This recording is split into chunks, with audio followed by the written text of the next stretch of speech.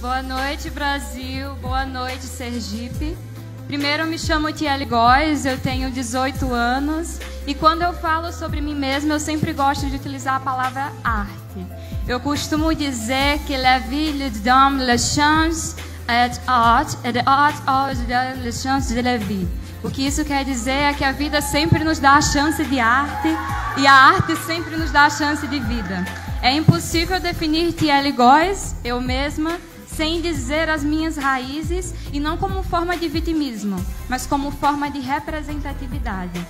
Nas minhas redes sociais, as pessoas costumam utilizar o emoji do furacão. Inclusive, a minha torcida estava gritando sobre isso, porque eu acredito que a minha multiculturalidade é o exemplo suficiente para provar que, sendo uma pessoa negra, de zona periférica, neta de indígena, filha de mãe solteira, você pode ser quem você quiser e não são os seus parâmetros sociais que vão limitar os seus sonhos.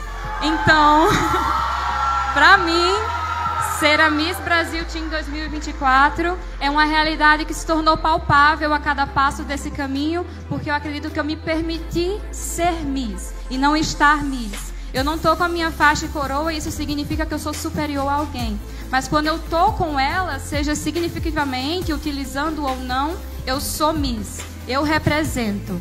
And that's why I think I deserve to be the new Miss Brazil Team 2024.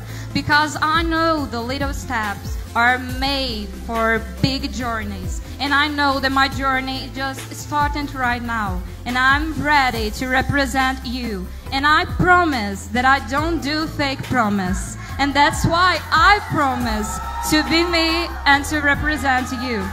Yo digo que cuando estoy Miss, yo solamente dejo que las personas sean representadas por mi voz, por mi vez.